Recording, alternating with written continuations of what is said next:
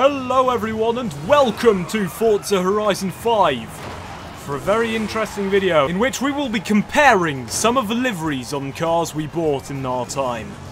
So basically, the auction house has a bunch of weird liveries on some very weird cars.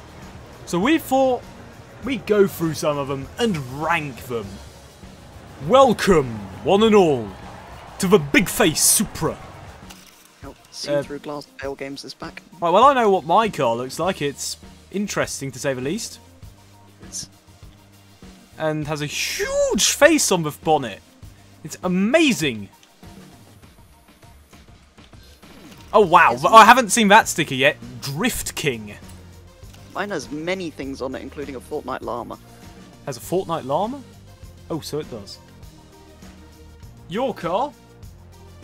I'm going to give a 4 on inappropriateness, a 7.25 on quality, and a 6.4 on Forza communityness. I'm gonna give the inappropriateness a three because it's well, it's just a llama, really, isn't it? Well, that's inappropriate. Well, no, that's why I only gave it three. Quality's a seven because it's well, reasonably good, and also communityness an eight because it has a Fortnite llama on. What about the Supra? I gave it a 6 on inappropriateness, considering, well, the lady isn't wearing very many clothes. The A 6 on quality, because it's quite good. And the 7.6 on Forza communityness, considering it's got some very traditional Forza stickers. It's got an anime girl, it's got a hoonigan sticker, and a few other stickers that you see. Oh, it's also got a YouTube channel on it. Yes, I'm going to rate it quite similarly for inappropriateness. I'm going to give it a 7. And I'm going to give it a 6 for quality, like you did. It's reasonably well made. And a 7 for Forza communityness. So we should say, it's Supra. I oh yeah, the super fact also gives it a bit of an edge. What does it have a big face on the front? I don't know. I don't know if that adds or subtracts from quality. No, it's Moving on. Bit scary, really. Moving on to the next pairing. I don't know. I think that's just my computer uh, because I can't have high quality and record at the same time, so I don't can't really get. But quite, it's not that hard to paint job to look at it. It seems fairly, fairly easy, so it's going to get marked down on quality. However, so is mine. Let's be honest. So I'm gonna I'm gonna start with mine or yours. Yeah, let's begin with the Susco. What did he give it? I gave it a 1 for inappropriateness because it's just kind of, well, Among Us things. Same. A 6 for quality because, well, it's amazing. I gave it a five there. but not quite amazing enough. and seven for Forza communityness because Among Us. Again, same. Now what about a big pink thing?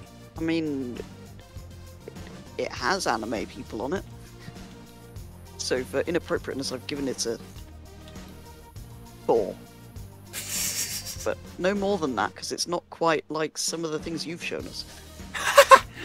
So did I. I also gave it a 4 on inappropriateness. Also on quality, a 4. Me too. It's not well made, and six for communityness because, well, look at it. Yeah. It's pink and has anime girls on it. I gave it a 5.5 because it doesn't have enough hoonigan stickers. What is that wing? Anyway, I'm going to begin Yeah. with yours. It's a it, yes. it's a very I don't know, it's a very. Forza livery, I must say. Oh, I like those I don't like the rims or the I don't like what you've done to my favourite car. However, the paint job part of me actually quite likes it. I like the blue and pink. Well, good point. I've got blue and pink on every single one of my race cars. Mine, um, well, that's not many clothes. So why has it got a, a Japanese letter with a tail? And what is an Uh. Itasha society? That sounds dangerous. Street Glow. Scorpion. You have good smile racing Exactly. and blue hair. I've got purple hair. Maybe we're in, maybe maybe we should swap cars. Mine's more of a purple petrol. look, Yours is more of a fail games blue and pink. I don't know. I'll start with the Le- uh, with the Lex. Um, I gave it an 8.5 on inappropriateness for obvious reasons. So did I. I gave it Yes. an 8 on quality So I um, gave it seven because Oh. I've seen better. yeah, but I like I like the transitions. I think that or, or like the fade effects and stuff like that. Like this, But it's done really well. Top of the rear bumper.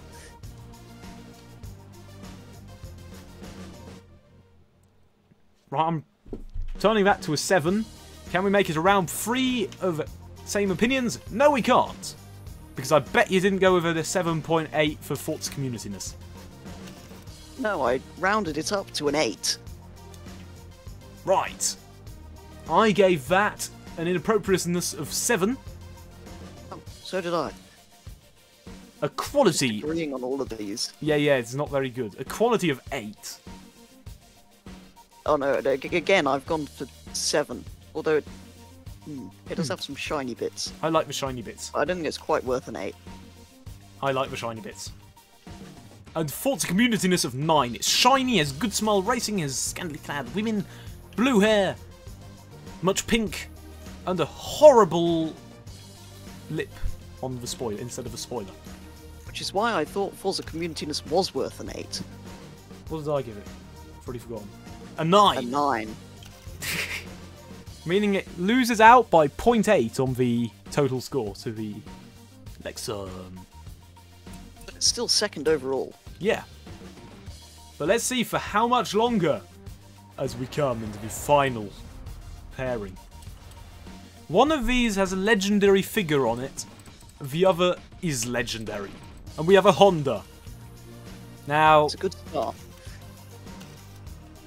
That's a person of much controversy in recent months, whereas my. N- um, basically, in Forza Horizon 3, it was I had to basically censor an entire video because we weren't slightly quite. further away for these two. It wasn't quite clear whether or not there was actual problems with this livery, so we had to basic. I had it pixelated for the entire challenge video. I just drove far away from it. Appropriateness 9.5 because of all the effort it made me put into a editing. Yes, I've given it a nine, which is the highest score I've given that category so far. Quality, where this is also the highest score so far, with a 7.5. Actually, it's well not. It's the second highest. It's a 7.5. It's the highest I've given it. At eight. I would have given it more, but I don't like the white backgrounds on these stickers. Oh, oh, oh. Forza Communityness 8.5. I mean, I've given it nine for that. what's more? Eight? It's also got good smile company. I'm gonna have to give it a nine, But I'm also going to reduce my quality rating to a seven because of those stickers. which means we end up with a total Back where it score which is higher than anything we've seen so far, which I guess was kind of to be expected, of 51. Got our first 50s. And moving on to. Mm, yes. Yes, what should we call this? I don't know, I called it the Italian Parliament car. Oh, yes. That's a good enough name. I gave it an inappropriate level because of the Italian Parliament of 8.6. Yeah, I gave it seven. Mostly because I just looked at your car. On quality, I gave it a 7.5 because it's quite good.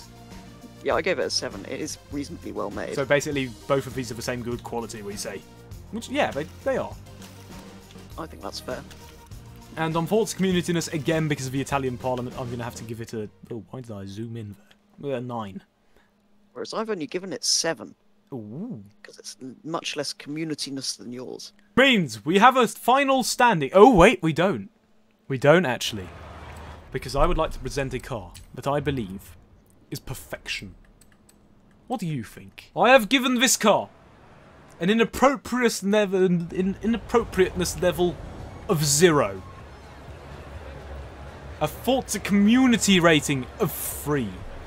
However, a quality of 11 out of 10 Wow! given it on inappropriateness.